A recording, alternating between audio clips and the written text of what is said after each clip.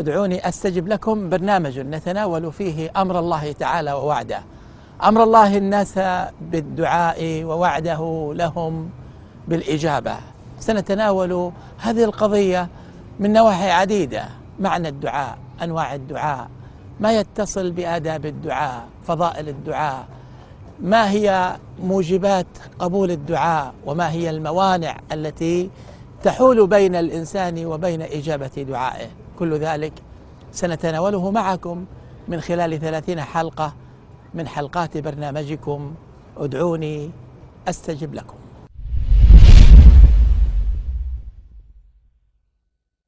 الحمد لله حمدا كثيرا طيبا مباركا فيه ملء السماء والأرض وملء ما شاء من شيء بعد. أحمده لا أحصي ثناء عليه هو كما أثنى على نفسه. له الحمد كله أوله وآخره ظاهره وباطنه فهو المحمود المستحق لكل حمد وتمجيد وتقديس. الحمد لله الذي خلق السماوات والأرض وجعل الظلمات والنور ثم الذين كفروا بربهم يعدلون. وأشهد أن لا إله إلا الله إله الأولين والآخرين رب العالمين لا إله إلا هو الرحمن الرحيم. وأشهد أن محمدا عبد الله ورسوله صفيه وخليله خيرته من خلقه. بعثه الله بالهدى ودين الحق بالعلم النافع والعمل الصالح بين يدي الساعة بشيرا ونذيرا داعيا إليه بإذنه وسراجا منيرا. بلغ الرسالة وأدى الأمانة ونصح الأمة. تركنا على محجة بيضاء. سبيل بين واضح لا لبس فيه ولا غبش. لا يزيغ عنه إلا هالك. بلغ البلاغ المبين وأدى الأمانة على أكمل ما يكون. فحقه أن يصلى عليه صلى الله عليه وعلى آله وسلم. اللهم صل على محمد وعلى آل محمد كما صليت على إبراهيم وعلى آل إبراهيم إنك حميد مجيد. أما بعد فأهلا وسهلا ومرحبا بكم أيها الإخوة والأخوات في هذه الحلقة. من حلقات برنامجكم ادعوني أستجب لكم. هذا البرنامج هو من جملة برامج أعدتها وزارة الشؤون الإسلامية في المملكة العربية السعودية تبصيرا وتوعية وهداية ودلالة على الخير وتبيانا لما ينبغي أن يعرفه المؤمن وأن يعمل به ليبلغ رضا ربه في دينه ودنياه وليسعد في معاشه ومعاده. هذا البرنامج هو إحدى تلك الثمار المباركة التي تنتجها وزارة الشؤون الإسلامية كل عام برعاية كريمة من وزيرها الوزير المبارك معالي الشيخ صالح آل الشيخ وكذلك بإشراف ومتابعة من مستشار الوزير للإعلام الشيخ طلال العقيل والوزارة بكل أجهزتها تسعى لتقديم المفيد الجديد فجزاهم الله خيرا. وسدد خطاهم ووفق هذه البلاد ولاة ورعية قادة وشعبا إلى ما فيه خير العباد والبلاد.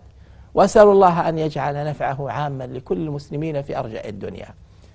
أيها الإخوة والأخوات حديثنا في هذا البرنامج هو تحت ظلال هذه الآية.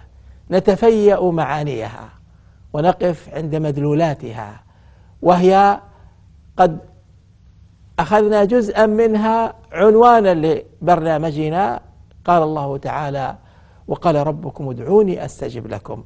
إن الذين يستكبرون عن عبادتي سيدخلون جهنم داخرين. حديثنا عن الدعاء حديثنا عن العبادة الجليلة التي رفع الله تعالى منزلتها وعلى مكانها وجعلها في منزلة لا يساميها شيء من العمل الصالح ولا يدانيها شيء من القربات التي يتقرب بها إلى الله عز وجل. أيها الإخوة والأخوات خلقنا الله تعالى في هذا الكون وأنعم علينا نعما لا تعد ولا تحصى. قال الله تعالى وإن تعدوا نعمة الله لا تحصوها فنعم الله لا يحيط بها عدد كما أنه تعجز الألسن والأذهان والأفكار في إحصائها جنسا ونوعا وفردا وما بكم من نعمة فمن الله. نعم الله عز وجل علينا عظيمة. أول ذلك ما أنعم به علينا من إيجادنا. فنحن لم نكن شيئا قبل إيجاد ربنا جل في علاه هو الذي تفضل علينا بالوجود. قال جل في علاه هل أتى على الإنسان حين من الدهر أي مدة من الزمن لم يكن شيئا مذكورا؟ نعم قد أتى علينا مدد متطاولة لم نكن شيئا. أنا وأنتم قبل أن يمن الله علينا بالإيجاد وقبل أن يخرجنا من بطون أمهاتنا لم نكن شيئا مذكورا. فلا ذكر لنا ولا معرفة ولا شيء مما يسعى الناس إليه في ذكرهم وطلب آه، المنزلة والمكانة لم نكن شيئا بالكلية كنا عدما. تفضل علينا بالإيجاد ولم يتركنا جل في علاه هملا بل أمدنا بكل الوسائل التي يرتقي فيها الإنسان في مراقي الكمال في دينه وفي دنياه في تربية عظيمة تولاها رب العالمين جل في علاه فله الحمد الحمد لله رب العالمين الذي ترقى بنا. والله أخرجكم من بطون أمهاتكم لا تعلمون شيئا. فالله أخرجنا في غاية الجهل وغاية الضعف ثم كملنا علما وقوة وقدرة حتى بلغنا ما بلغنا من المعارف من الإتقان من الإدراك في شأنه وفي حقه وفيما يصلح به دنيا الناس ومعاشهم. فكان الإنسان في غاية الإتقان خلقا فهو أحد آيات الله فهو إحدى آيات الله العظمى الدالة على عظمة إتقان الرب جل في علاه. خلقنا الله وبين لنا وظيفة هذا الخلق فلم يتركنا دون بيان لسبب وجودنا لعلة خلقنا. لماذا نحن في هذا الكون؟ ما الذي يطلب منا وما هي مهمتنا وأي شيء ينبغي أن نشتغل به حتى نحقق غاية الكون. غاية الكون ليست ملتبسة ولا مشتبهة بل غاية الكون في غاية الظهور والجلاء.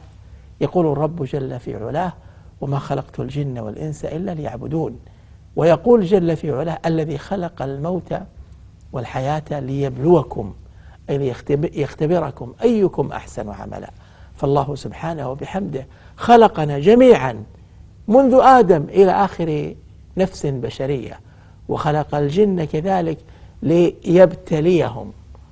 ويختبر هؤلاء الخلق في تحقيق الغاية من الوجود. فموضوع الاختبار هو مدى قيامنا بما أمرنا الله تعالى به مدى قيامنا بما خلقنا من أجله وهو عبادة الله عز وجل. وعندما نفهم العبادة في مفهومها الواسع ندرك أن العبادة ليست محصورة على صورة وليست مقصورة في عمل أو نموذج بل هي شاملة لكل مناحي حياتنا بلا استثناء فيما يتعلق بصلتنا بالله عز وجل وفيما يتعلق بصلتنا بالكون سواء صلتنا بالناس سواء صلتنا بالحيوان سواء صلتنا بالجماد صلتنا بكل شيء من حولنا تصوغه تلك الشرائع المباركة.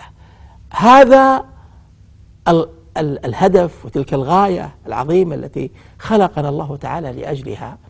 من رحمته بنا أن بعث إلينا رسلا يعرفوننا بها فلم يترك الأمر إلى اجتهادات البشر ولا إلى آرائهم لأنه لو ترك الأمر على هذا النحو لاختلف الناس في ذلك اختلافا. لا يمكن الاجتماع معه ولا يمكن تحقيق مصالح المعاش والمعاد في ظله. إنه عظيم رحمة الله بعباده. كبير إحسانه بهم أن بعث إليهم رسله مبشرين ومنذرين. بعثهم ليعرفوا الناس بالله. ويدركوا من من الرب الذي يعبدون ومن الإله الذي إليه يتوجهون. إن الرسل جميعهم جاءوا يدعون الخلق إلى الله يبينون ما لهذا الرب من كمالات ما له من حقوق ما له من جليل صفات وجميل أفعال. كل الرسل على هذا العمل تتابعوا من نوح عليه السلام إلى خاتمهم. نبينا محمد صلوات الله وسلامه عليه إلا أن أعظم الرسل بيانا وأكملهم إيضاحا لما يتعلق بالله والتعريف به محمد بن عبد الله فهو صاحب الرسالة الخاتمة وهو الذي جاء للناس عامة كافة فلا يحد رسالته زمان لا يحد رسالته زمان ولا مكان ولا شخص بل يا أيها الناس إني رسول الله إليكم جميعا. فرسالته لجميع الناس في كل زمان وفي كل مكان بعد بعثته صلوات الله وسلامه عليه. هذا العموم في الرسالة اقتضى أن تكون في غاية الإتقان والكمال. لا يأتيه الباطل من بين يديه ولا من خلفه. تنزيل من حكيم حميد. كتاب أحكمت آياته. ثم فصلت من لدن حكيم خبير. أيها الأخوة والأخوات هذا البيان الذي جاءت به الشريعة في بيان كمال الله عز وجل وبيان الطريق الموصل إليه هو ما قام به سيد ولد آدم صلوات الله وسلامه عليه هو ما جاهد الناس لبيانه وبلغ الغاية في إيضاحه وقام صلى الله عليه وسلم في تبليغه غاية الكمال. حتى شهد له ربنا جل في علاه في أعظم محفل وأكبر جمع اجتمع فيه العرب في مكة قبل على مر التاريخ الذي يشهد ويحفظ ما اجتمعوا في يوم عرفة حيث قال النبي حيث أنزل الله تعالى قوله جل وعلا اليوم أكملت لكم دينكم وأتممت عليكم نعمتي ورضيت لكم الإسلام دينا. هذا البيان هو مقدمة للحديث عن الأمر الذي خاطب الله تعالى به أو الناس جميعا. خاطب به العالم من الإنس والجن. خطاب أمر وخطاب وعد يقول جل في علاه وقال ربكم ادعوني أستجب لكم. إن الذين يستكبرون عن عبادتي سيدخلون جهنم داخرين. هذه الآية منها سننطلق في الحديث عن ما يتعلق بأكرم العبادات وأشرفها إنه الدعاء الذي قال فيه النبي صلى الله عليه وسلم فيما رواه أحمد وأصحاب السنن ليس شيء أكرم على الله من الدعاء ليس ثمة ما هو أعلى منزلة وأكثر بركة وخير ونفع للعباد من الدعاء ولذا قال ليس شيء أكرم على الله أحب إليه وأقرب لعطائه وأجزل لإحسانه من الدعاء. سنتحدث أيها الإخوة والأخوات في حلقات هذا البرنامج عن الدعاء مفهومه وما يتعلق به. سنتحدث عن الدعاء وما يتعلق بأحكامه بآدابه بفضائله بسائر ما يتصل به. فنحن لا غنى بنا عن دعائه وسؤاله. يا أيها الناس أنتم الفقراء إلى الله والله هو الغني الحميد. إلى أن نلقاكم في حلقة قادمة من برنامجكم. ادعوني أستجب لكم أستودعكم الله الذي لا تضيع ودائعه. والسلام عليكم ورحمة الله وبركاته.